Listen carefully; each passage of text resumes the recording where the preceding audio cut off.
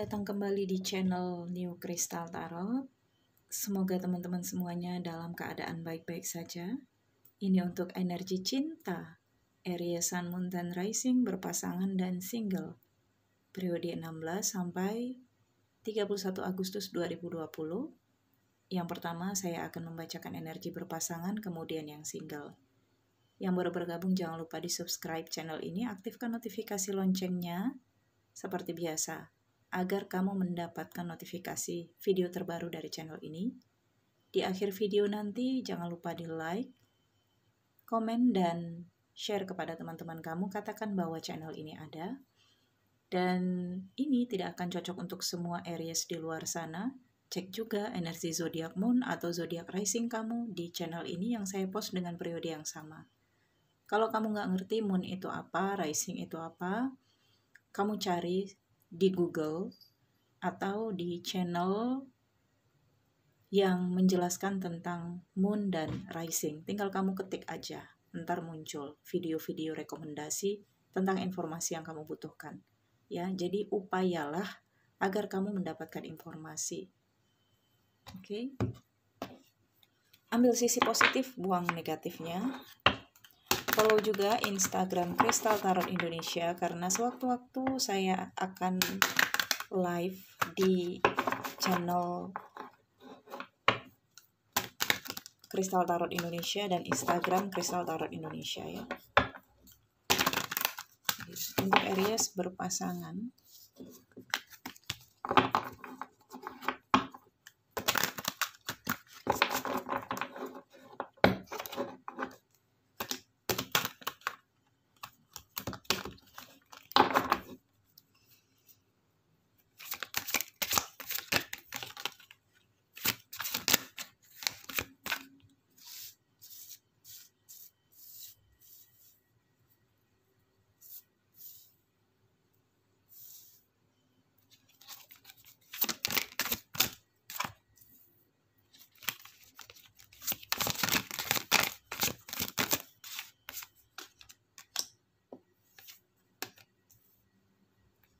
Kelihatan ya semua kartunya?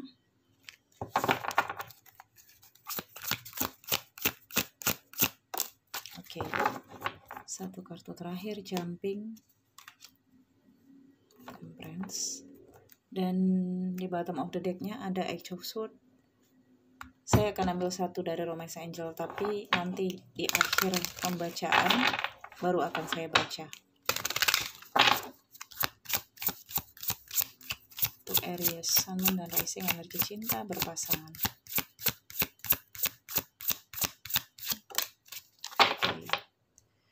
Udah kebuka. Ya udah deh, saya buka aja. Di sini dari Romance Angel ada You deserve love, you are lovable.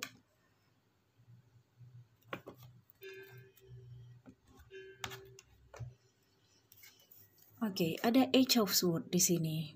Delapan pedang. Di sini energi kamu dan dia didominasi oleh seperti pertikaian, tapi secara nggak langsung. Oke. Ada keterkekangan, ada belenggu, ada juga seperti penghukuman, atau di sini sebagian dari kamu Aries, mungkin kamu dihadapkan seperti diadili, dihadapkan dengan orang-orang yang ingin mengungkap apa yang sebenarnya kamu hadapi bersama dengan pasangan kamu. Kenapa situasinya seperti ini? Oke, kita lihat seperti apa situasi yang dimaksudkan oleh Age of Sword ini. Ini energi kamu, ini energi dia, atau terbolak-balik. Cocokkan dengan situasi dan kondisi kamu ya. Kamu di sini Two of Wands, The Star, dan Ace of Wands. Two of Wands, stagnan. Kamu ngerasa hubungan ini seperti nggak ada solusinya. Hubungan ini mandek dalam situasi yang monoton. Tidak ada hal-hal yang baru, ada kejenuhan saya rasakan di sini. Secara Aries itu emang menyukai hal-hal yang baru, menyukai kreativitas. Lebih merasa tertantang jika hubungan ini ada bumbu-bumbu kecemburuan.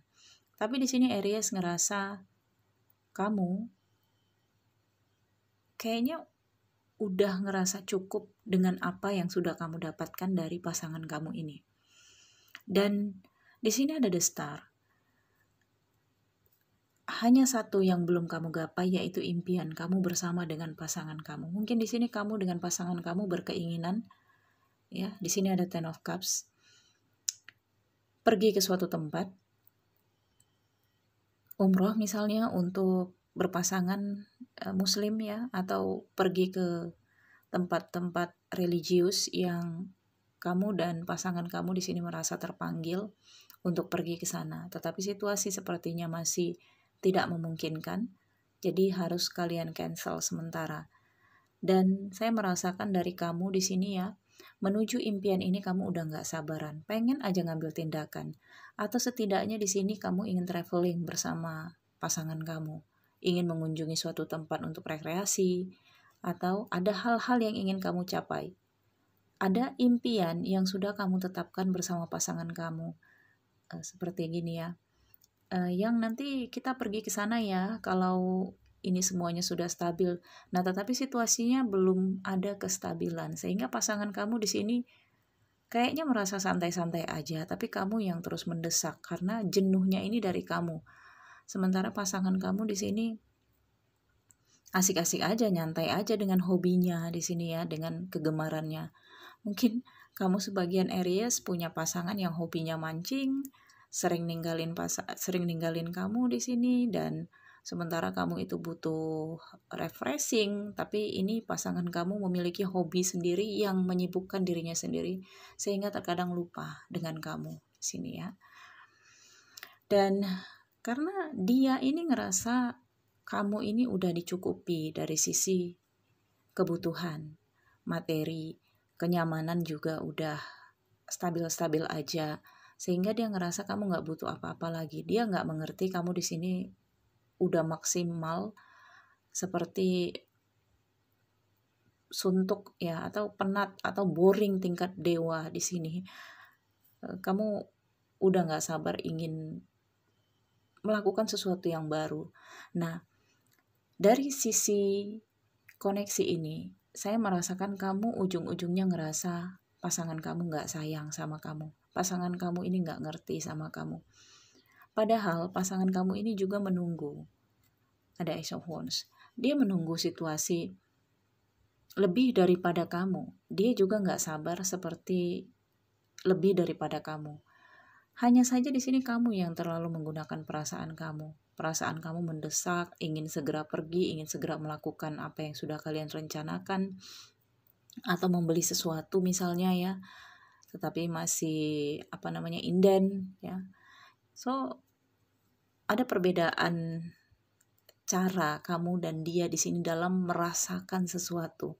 Jelas aja ya, mungkin kamu di sini berpikir secara perasaan, menggunakan perasaan kamu, sementara pasangan kamu menggunakan pikirannya. Ketika dia pergi di sini menjalani hobinya, mencari apa yang disenanginya dan melaksanakannya, dia bisa melupakan itu semua. Bahkan melupakan kamu sejenak, melupakan hubungan kalian sejenak dengan hobinya ini. Tetapi kamu di sini nggak ada yang bisa kamu lakukan. Kamu stuck. Tidak memiliki kegiatan atau hobi yang bisa menghibur kamu. Karena kamu ini kalau udah satu ya satu pengennya fokus ke sana ya pokoknya harus dan gak sabaran. Oke, okay? di sini ada temperance ya outcome-nya. Jadi sabarlah, kendalikan diri, seimbangkan, jaga ucapan kamu, jaga pikiran kamu untuk tetap stabil. Dengan Age of Sword di sini. Ini ada sesuatu yang genting jika memang kamu di sini tidak bisa mengendalikan. Seperti yang saya katakan, ada kerenggangan yang akan terjadi antara kamu dengan pasangan kamu jika di sini kamu yang berenergi di atas ini nggak sabaran, memaksakan. Bukan dia tidak mengerti, tetapi cara berpikirnya beda dengan kamu. Kamu cari di sini sesuatu yang bisa melepaskan kamu dari belenggu ketidaksabaran ini. Okay. Dan saya merasakan sebagian juga kamu berpasangan Aries karena kamu uring-uringan, kamu melakukan sesuatu yang terlihat oleh orang tua misalnya atau terlihat oleh lingkungan kamu. Sehingga di sini ada rasa di dalam hubungan ini ngejudge satu dengan yang lainnya. Kamu mengatakan pasangan kamu nggak sayang sama kamu, nggak paham, nggak perhatian, asik aja dengan hobinya. Sementara pasangan kamu ngejudge kamu sebagai seseorang yang selalu uring-uringan, maunya marah-marah aja, maunya hanya maunya banyak gitu. Sementara semua sudah dicukupi. Akhirnya kalian saling mengkaji kekurangan masing-masing. Okay? Di sini ada you deserve love, oke. Okay? Kamu pantas untuk mendapatkan cinta, kasih sayang, dan dia juga. Hubungan ini pantas untuk menerima cinta dan kasih sayang. So, di sini kalian harus menilai segala sesuatunya dari situasi dan dari apa yang sesungguhnya bisa kamu lakukan satu dengan yang lainnya. Kalau pasangan kamu di sini hobinya masih baik dan masih lurus-lurus aja, nggak ada yang perlu kamu ributkan. Tetapi kalau kamu di sini memang uh, bosan, boring atau stuck ngerasa ingin sesuatu yang baru, kamu lakukan sesuatu di sini yang bisa membuat kamu ini lebih rileks, lebih nyantai. Pikirkan apa yang bisa kamu lakukan di rumah misalnya, atau apa yang bisa kamu lakukan di waktu-waktu senggang, waktu-waktu kosong kamu untuk mencintai diri kamu. Misalnya kamu bisa beli paket luluran untuk luluran di rumah, mempercantik diri kamu untuk feminin dan untuk maskulin di sini, kamu bisa lakukan sesuatu hal yang bisa membuat suasana rumah itu lebih indah, misalnya kamu eh, renovasi rumah sendiri dengan kekuatan kamu sendiri, lakukan situasi ini dengan stabil.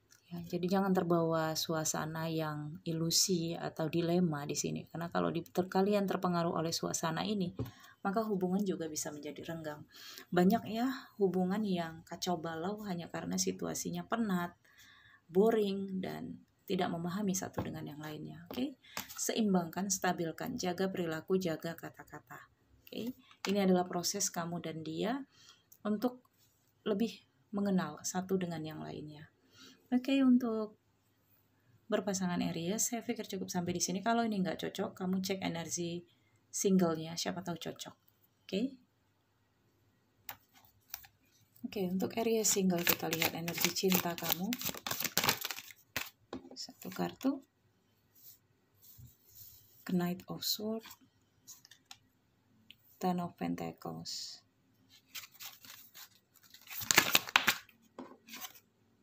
Three of Wands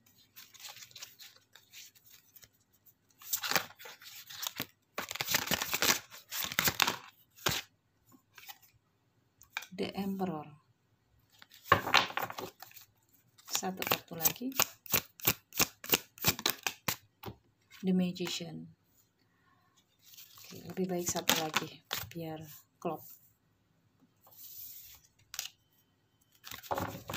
Of the decknya ada ya, energinya sama ya, Age of Sword. Oke. Untuk berpasangan dan single, sepertinya kamu di sini memang dipengaruhi rasa terbelenggu, ngejudge orang lain itu seenak pikiran kamu saja, ya. Mungkin kamu di sini Berpikir dengan apa yang kamu pikirkan saja tanpa memandang atau tanpa merasakan jika kamu berada di posisi orang lain. Oke. Okay? Untuk energi cinta bisa saja ini keterkaitan kamu dengan seseorang yang kamu inginkan atau seseorang yang sudah menjadi masa lalu kamu. Jadi cara merasakan atau cara melihat pembacaan kartu tarot energi cinta single hubungkan dengan seseorang yang kamu inginkan atau seseorang yang menjadi masa lalu kamu yang masih ada di pikiran dan di hati kamu atau tentang diri kamu, pekerjaan kamu. Artinya ini tentang cinta. Ke mana fokus cinta kamu pada periode ini, oke? Okay? Knight of Swords, Ten of Pentacles, Three of Wands, The Emperor, The Magician, dan Two of Pentacles. Untuk kamu area single, Knight of Swords di sini ada sikap kamu yang terburu-buru, tergesa-gesa. Dengan kartu Eight of Swords ini memang kamu udah ngerasa penat, ngerasa boring, pengen keluar aja dari belenggu kebosanan hidup kamu.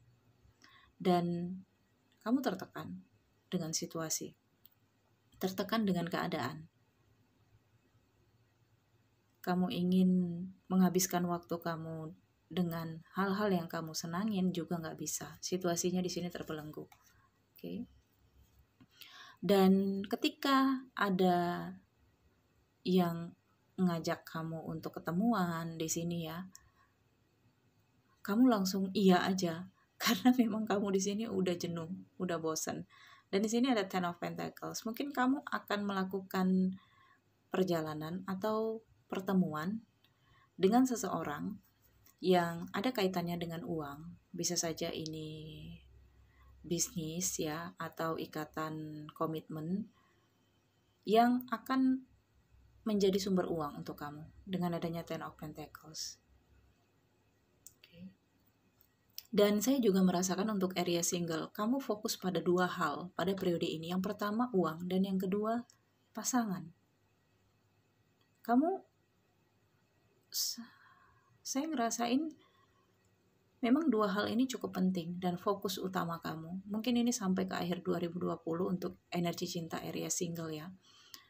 Satu sisi kamu terburu-buru dan tergesa-gesa ketika kamu menginginkan sesuatu.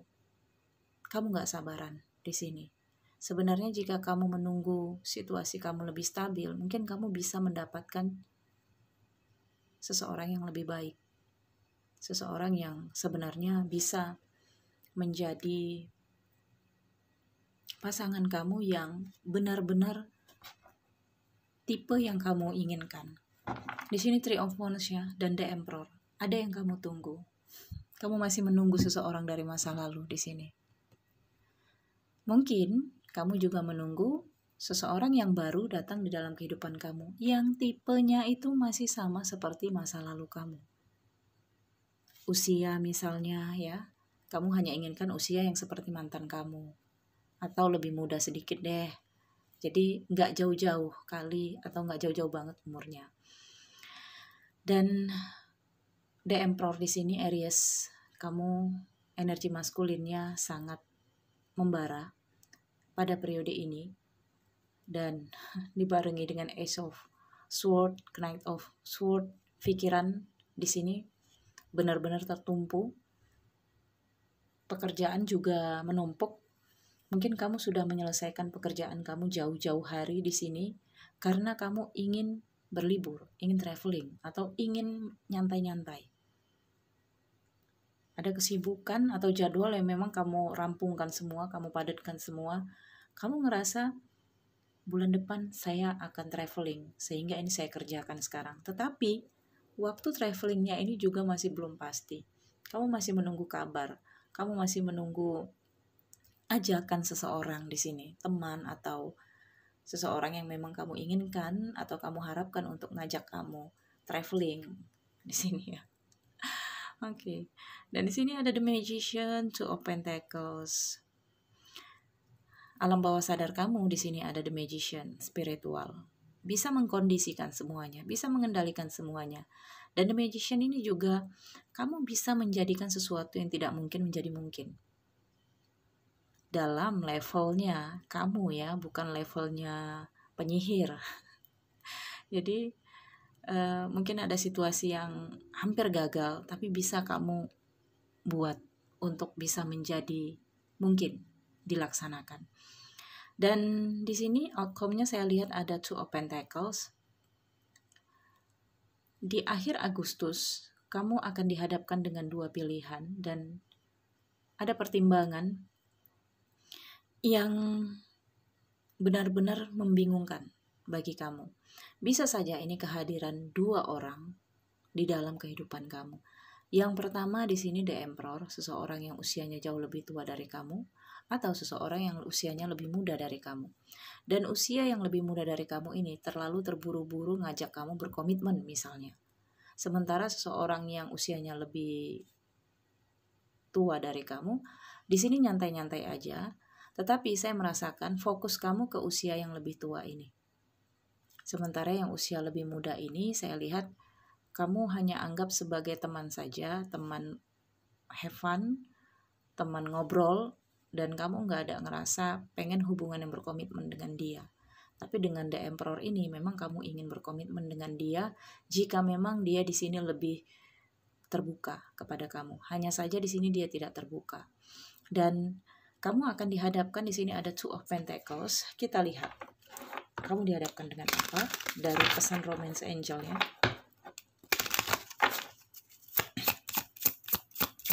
Area single. Oke, satu kartu di sini. Sama. Untuk berpasangan energinya sama dan untuk yang single sama. You deserve love, you are lovable. Oke, jadi di sini Ketika kamu nantinya berada dalam pertimbangan, mana yang ingin kamu pilih? Apakah seseorang yang usianya lebih muda atau yang lebih tua? Di sini dengarkan kata hati kamu. Mana yang membuat kamu ngerasa berbunga-bunga? Ngerasa cocok dan nyambung, chemistry-nya dapet. Kalau di sini pertimbangannya ada dua, ya. Yang pertama ini ya, mungkin usianya ini lebih muda dari kamu dan ada rasa canggung ketika kamu jalan bareng sama dia sehingga di sini kamu ngerasa minder ya. Dan yang muda pastinya lebih banyak tuntutan. Walaupun dia nggak nuntut tapi kamu di sini ngerasa harus melakukan sesuatu entah itu dari sisi fisik eh, style kamu untuk merubah penampilan kamu. Padahal itu bukan diri kamu yang sesungguhnya. Jadi kamu harus menjadi diri orang lain atau stylenya orang lain dan itu pastinya nggak membuat uh, itu pastinya membuat kamu nggak nyaman maksud saya. Dan sementara yang satu lagi ini usianya lebih tua dia menerima kamu apa adanya. Tetapi menerima kamu apa adanya karena kamu di sini udah stabil. Kalaupun kamu di sini masih semrawut masih berantakan ini juga dia nggak akan mau nerima kamu. Ya jadi pertimbangan kamu itu ada sisi ego yang muncul dari dalam pikiran kamu. Alah dia juga mau sama saya karena saya udah stabil keuangan udah stabil pekerjaan udah stabil jadi sepertinya dia ini mau sama saya karena uh, dia tidak ingin berjuang atau hanya ingin menikmati kebahagiaan saja. Nah, pikirkan ya, Aries single. Ketika kamu berhadapan dengan The Emperor ini, bukannya dia menilai kamu dari sisi stabil, tetapi dia menilai kamu dari sisi tidak perlu lagi untuk dibina atau dibimbing terlalu jauh. Ya. Kamu juga sebenarnya berpikiran seperti itu. Kamu ingin mencari seseorang yang sudah stabil secara ekonomi, secara pemikiran, ya, secara pekerjaannya. Hanya saja di sini kenapa kamu tidak mau menerima seseorang yang berpikiran sama dengan kamu? Karena The Emperor ini juga menunjukkan cermin dari diri kamu kamu akan bertemu dengan seseorang yang kamu yang sesuai dengan kamu. Artinya ketika kamu mencari yang stabil, datang pula seseorang yang memang mencari yang stabil. Sebenarnya klop, hanya saja di sini ada ego kamu yang harus kamu runtuhkan. Ya, kestabilan itu perlu, itu logika. Oke. Dan ini yang membuat kamu berada dalam pertimbangan. Dengan The Magician, kamu bisa aja membuat siapa yang kamu inginkan. Kamu bisa saja menarik atau membuka hati kamu untuk siapa saja yang kamu inginkan. Karena di sini kamu punya kendali. Kamu ramah aja atau kamu membuka komunikasi aja dengan salah satu mereka. Mereka ini akan nempel ke kamu. Hanya saja di sini kamu yang ngerem-ngerem terus. Ah nggak usah terlalu dalam lah nanti nggak pasti buat apa. Oke, di sini ya. Untuk dari Ten of Pentacles ini menggambarkan tentang rezeki keuangan kamu. Ten of Pentacles akan ada rezeki rezeki nomplok ah, yang datang kepada kamu, tetapi ini tantangan. Ada pekerjaan, ada tantangan atau rintangan yang harus kamu selesaikan.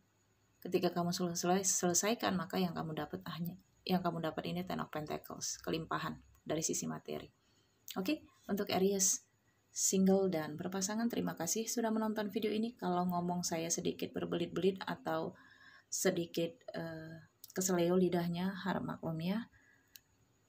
Terima kasih, nantikan video selanjutnya dari channel ini. Yang ingin personal reading ada alamat lain dan deskripsi uh, pada deskripsi ada alamat WhatsApp juga. Salam hangat penuh cinta. Bye bye.